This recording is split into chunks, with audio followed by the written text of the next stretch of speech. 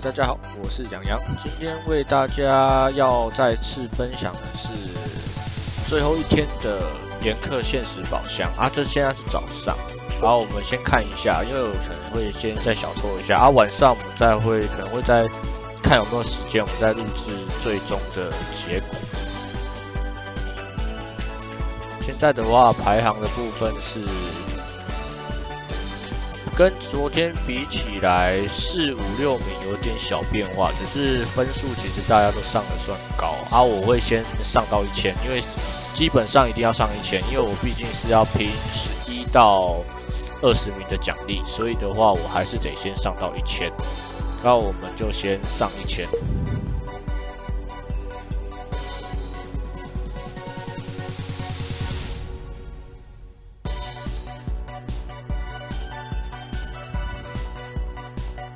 这是目前上一千，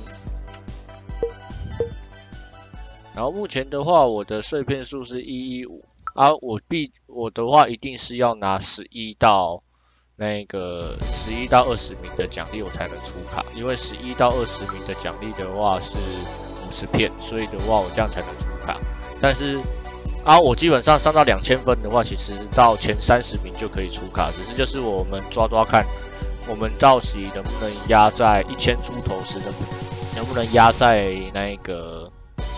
前二十名左右？因为毕竟来说，你我少抽个你像五次左右的话省赚，因为你十次赚的话，你就要喷六千八百赚了啊！六千八，你先不要扣赚袋嘛，先不扣赚袋，你就还要你就变成喷六千八啊！你越少的话，你至少只要抽到十五次左右的话，至少还可以省掉三千四左右。所以的话，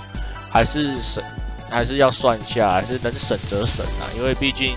月底来说，我这样子喷钻是喷很凶，加上到时会不会还有新，在月底时应该还会有新战魂的部分啊，新战魂部分我就会再考虑要不要去抽的，再去跟跟的部分，因为毕竟钻量喷很凶啊，下个月还有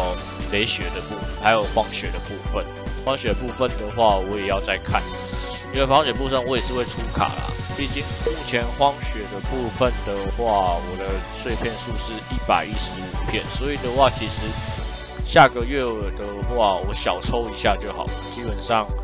应该也是要第也也是要第三天才能出卡了，除非我直接上，我这样等于差三十五片嘛，三十五片我直接上到两千分的话，是可以直接出卡没错啦。你看五片十到三百是十五嘛，十五的话二十。加二十五啊，这个也是三十五对吧？刚好你到两千分是刚好三十五片，我是可以直接出卡，就抽到两千满两千分的话，我就可以不理会排行奖励，然后直接出卡。但是基本上我还是会第三天才去出卡，因为我还是计算加赚量。因为其实现在来说，大家万用碎片的话，普遍会短缺的会比较少，因为加上其实有些的话是。如果在跟战令的部分的话，所以的话基本上都可以再拿万用碎片。所以的话，加上还有终极之战的关系，所以的话万用碎片这边也可以慢慢开。就是你一天就是他们，你一天你要一次开全部的话，赚掉那个万用碎片都会很少啊。所以的话就都是慢慢开，你一天可能就开个，我的话是五片五片开啦。我通常的话可能五片开完，就是可能早上开个十片吧，就五五五就可能就五次五次开，就一次五片五片开啦，啊可能开个两次，然后可能晚上再开个一次，只要数量够多的话，啊，我不会，我一个月不会把它全，一定不会全部开完，下个月如果搭配其他现实宝箱要上去的话，可能就是一天就看情况会不会开比较多。看一看目前的话，我的万用碎片是又来到一千四百五十几片。上个月的话，我记得是月初在练干地的时候，好像是一千八百多，还一千六百多。其实练一只脚的时候，我才开到四门，其实赚量是要喷很凶的。加上你还有那一个元素要去把它洗洗成同同样元素，运气好的话很，运气好的话可能就是没多少都洗到了啊。运气不好的话，你可能百来片才洗到。那其实这个也是蛮喷的。就是蛮喷那一个万用碎片的，啊，这是喷的是还洗不回来的，就是你后期，你后期如果就是你角色不练死，你还没办法洗回来的，这是这是比较伤的部分啊。这是这是严克的话，目前看起来算是大家也算抢的蛮凶的啦。可能有些人会普遍想要练三傻，加上严克其实还是有他的一席一席之地起一席之地起来，因为他六门的话必定暴击嘛，第一回合必定暴击，啊加上又变全打，又变成全攻，哎是全的，我看一下，因为我我其实我有点忘记了，要我要看一下。哎，这样好像没办法直接看六，没角色我记得是应该是不可能不能直接看六。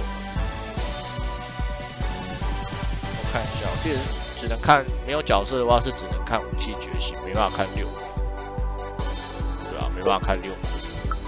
哎，不是觉醒，觉对吧？觉醒没办法看六。好，没关系，没关系，到时我们拿到拿到角色时，我们再查看。啊，目前我的角色部分也是这些未拿，到时再看吧，对啊。这个月的话，我超越 K 也会出来，暂定的部分超越 K 会出来，所以的话，这这一个月我会出两个，也会出到两张卡，下个月再看战力是什么。然后我反正后面的话，明天就应该也会再看，应该也差不多了。胖胖的话，应该应该还要一段时间，因为你像超 K，超 K 我记得之前其实蛮早以前好像有出过。然后明天君好像也有过，我记得在在第一一二次的时候好像有出，然后明天君后期就没再出，就算比较可惜。但是明天明天君跟洛克的话其实没什么差，因为你出的话只是尽量的话就是拿到三支队伍的奖队伍的美食，就是先手加成奖队伍加成奖励而已啊，就先手加成，所以就十。加的也不多啦，队伍三个的话是三个都有的话是加额外再加两百啦，你本身拿一只角色是加四十，所以的话其实 CP 值也不高啦，因为你他们都没有，都是不无少补而已啊，因为他们都没有呃的美食管道可以取得，所以就比较没有什么用，就是。出了，其实你对于后期大家可能在拼先手的情况来说，可能就是效益不大。但是你对于就是前几名的话会有差，因为前几名的话后面其实先手都提的蛮极致的，所以的话他们就可能就是